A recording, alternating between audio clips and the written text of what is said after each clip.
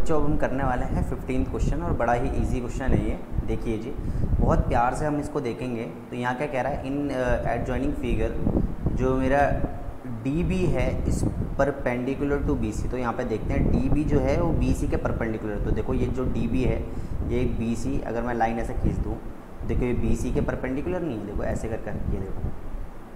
तो परपेंडिकुलर तो 90 90 बनेगा ये एंगल तो ये पूरा 90 बनेगा, ठीक है? अब यहाँ पे क्या कह रहा है? ध्यान से देखिए, जो डी ई है डी ई है, ये भी ए बी के क्या बन रहा है? परपेंडिकुलर तो ये देखो डायग्राम यहाँ पे पहले से गिवन है आपको, और जो ए सी है, वो भी बी सी के परपेंडिकुलर तो ऑब्वियसली बात है, ये 90 है, ये भी 90 है, ये भी 90 है, ठीक है?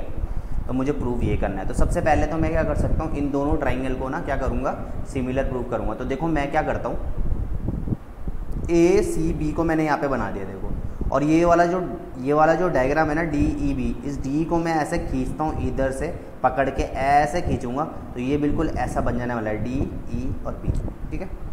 मैं इसको देख लेता हूँ, यहाँ पे ऐसा कुछ बनने वाला है। देखो, इसको मैंने अलग से यहाँ पे बना दिया, ठीक है ना? अब मुझे कुछ नहीं करना, इन दोनों को सिमिलर प्रूफ करने की कोशिश करनी है तो बस मैं कर लेता हूँ। अब देखिए, ये 90 है तो ये ऑब्वियसली बात है इक्वल हाफ्स में कटेगा ये 90 तो ये 45 हो जाएगा, और ये भी हमारा 45 हो जाएगा, ठीक है ना? या मैं डायरेक्ट इसको देख के ही बोल सकता हूँ कि भाई जो एंगल ई e है is equals to angle C है ईच 90 डिग्री ठीक है? और यहाँ पे देखिए एंगल बी और एंगल बी सेम एंगल है तो एंगल बी कॉमन एंगल लिख देता हूँ मैं।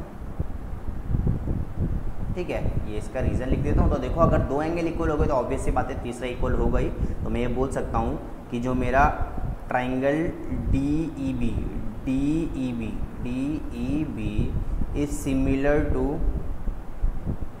is similar to B C A ठीक है? Is similar to B C A ठीक है? ये वाला, इसके कॉरस्पॉन्डिंग साइड में, ये वाला,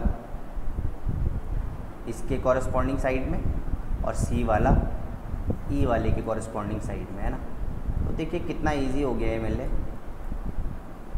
और ये, ठीक है जी। अब मुझे क्या निकालना है? देखिए, जो प्रूफ करना होता है ना, उसको बड़े चलाकी से मुझे प्रूफ करना है। तो देखो, अगर ये दोनों सिमिलर हो गए तो बड़ा इजी है फिर तो प्रूफ करना।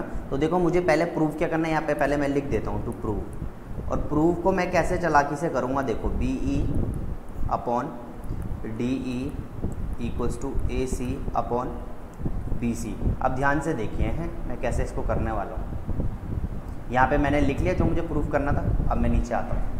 अब देखिए मैं कॉरस्पॉन्डिंग साइड लिखूँगा तो बी ई देखो यहाँ से, इस ट्राइंगल का बी ई मैं ले लेता हूँ यहाँ से अपॉन और यहाँ पे नीचे क्या है? डी ई अब यहाँ पे देखो बी ई के बी ई ट्राइंगल में ही डी ई है तो मैं उसके कॉरस्पॉन्डिंग साइड में नीचे तो इसको लिख नहीं सकता तो मैं उसको कहाँ लिखता हूँ? देखो, मैं ना यहाँ पे डी ई लिख देता हूँ, यहाँ पे नहीं सॉरी यहाँ पे डी ई e लिखूँगा अब मैं यहाँ पे डी ई e इसलिए लिख रहा हूँ क्योंकि जब मैं इसको क्रॉस मल्टीप्लाई करूँगा ना तो डी ई e इसके नीचे ही आ जाने वाला है, देखो, समझ में आ रहा है कि नहीं आ रहा है?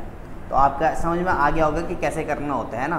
तो आपको पता चल जाएगा, बिल्कुल घबराने की ज़रूरत नहीं, जो आपने देखना है यहाँ पे प्रूफ में क्या दे रखा है। तो देखो बी ई अपॉन डी और ए सी अपॉन बी सी तो मैं यहाँ पे क्या कर दिया, देखो B E equals to D E के इक्वल लिख दिया। क्योंकि डी ई जब मैं इसको नीचे फेंकूँगा तो ये बी ई के नीचे डी ई आ जाएगा। तो ऐसा करके कुछ आपको दिमाग लगाना है। अब यहाँ पे आपने इतना तो दिमाग लगा दिया। ठीक है? कि ये यहाँ आने वाला है। तो बी ई पे क्या लगाओगे आप ऐसा? बी ई पे देखो तो देखो, अगर मैं ये ए सी अगर मैं इस बी ई के नीचे ए सी रखता, देखो बी ई कहाँ है बी के नीचे ए सी अगर मैं बी ई के नीचे अगर ए सी रख देता तो देखो अगर मैं इसको क्रॉस करूँगा तो ये इसके नीचे आ जाएगा और ए सी ऊपर आ जाएगा। ये देखो, ये ए सी ऊपर आ जाएगा तो बचा क्या सिर्फ़ मेरे पे? बी सी तो मैं यहाँ पे क्या लिख लूँगा? बी सी तो देखो मैं ऐसे करके कुछ कर लूँगा इसको। इसको देखो टू प्रूफ से ही मैंने ये निकाल दिया। तो B E upon A C equals to D E upon B C के कॉरस्पॉन्डिंग साइड्स में, ठीक है?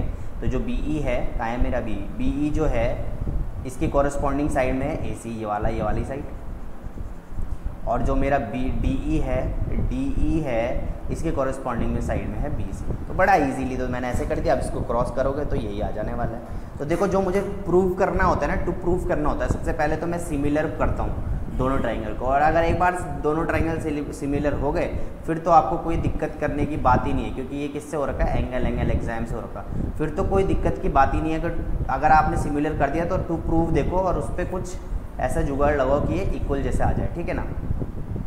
तो मेरे ख्याल से आई होप आपके अब समझ में आ गया होगा ये। बड़ा इजी कॉन्सेप्ट था, ठीक है ना? तो चलो, अब हम हम नेक्स्ट क्वेश्चन देखते हैं।